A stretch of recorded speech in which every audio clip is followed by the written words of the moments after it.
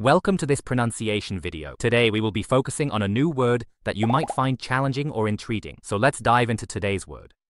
Oshiire, which means Closet in Japanese. let's say it all together. Oshiire. Oshiire. Oshiire. One more time. Oshiire. Oshiire. Oshiire. Thank you for joining us on this adventure in pronunciation. Remember, language is a journey, not a destination. Keep exploring, experimenting, and expanding your linguistic horizons. We'll see you next time.